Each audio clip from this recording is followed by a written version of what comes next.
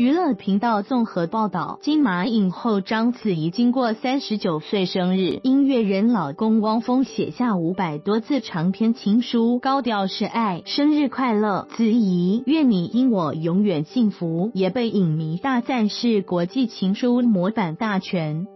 章子怡二零一五年嫁给汪峰后，不仅生下女儿星星，还替男方养育和前女友葛慧杰所生的。女儿西西。夫妻俩婚前情史丰富，好不容易相遇，继而相恋结婚，也让汪峰感性说：“我相信，当我们老了，我们唯一觉得做的最对的。事，就是我们走到了一起，我们将依为命。”章子怡也甜蜜回应：“生活的理想就是过上理想的。生活。”汪峰。左甜蜜送上生日祝福给章子怡，右合成图翻摄自汪峰微博，章子怡今三十九岁生日，翻摄自章子怡微博，章子怡左时常晒一家四口幸福生活，翻摄自章子怡微博，汪峰微博全文，生日快乐，老婆。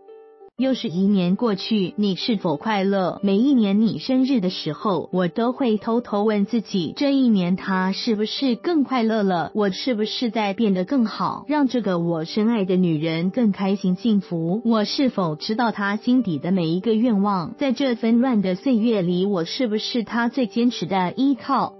这一辈子，我们还会过很多次生日，还会经历更多世事变幻，还会无数次相互依偎。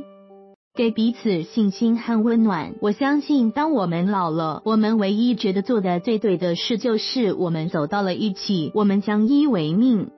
谢谢你，子怡，谢谢你带给我们这么聪慧可爱的行宝，谢谢你给了西西那么真挚无私的爱，因为你他变得那么自信和快乐。谢谢你给了我这么多信任、帮助和温暖，让我在生活这个庞大的迷局中保持着清醒，保持的真挚。有时我会愤怒、失望，你会用你的体贴温暖我冰冷的心；有时我会挫败、迷失，是你陪着我，让我能够看清。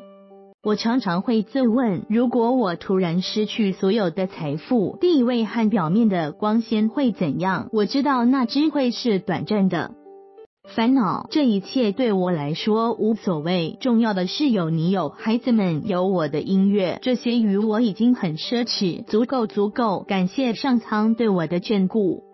说了这么多，脑子里就像电影般掠过这半辈子，所有的欢笑与泪水，冷暖自知。